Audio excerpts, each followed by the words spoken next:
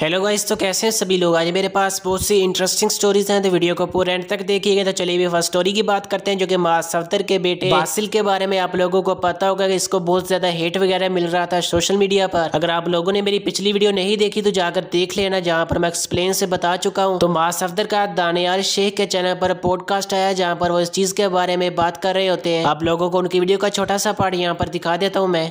Hate जो मैंने देखी है बेसिकली स्पेशली मैं नाम लूँगा बेसिकली तुम्हारे बेटे का बासिल। अब वो बच्चा जो है उसकी एज क्या है? सर उसकी एज एज हुई नहीं अभी तो मुझे फाइव मंथ है। एज ही नहीं बस फाइव मंथ्स का only five months yes five months उस बच्चे को इतनी हेट दी है।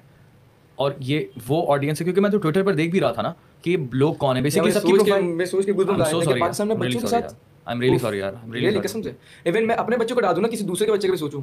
तो एक सोचने थिंक करने की बात है कि यार एक बच्चे को इस तरह आप थिंक कर रहे हैं किसी के भी बच्चा हो यार आई आई सिर्फ़ मेरा आई कांट बेसिकली क्योंकि तुम्हारा तुम्हारा बेटा है I can I don't understand I don't know कि तुम क्या फील कर रहे हो यस यस बिल्कुल मुझे तो भाई बहुत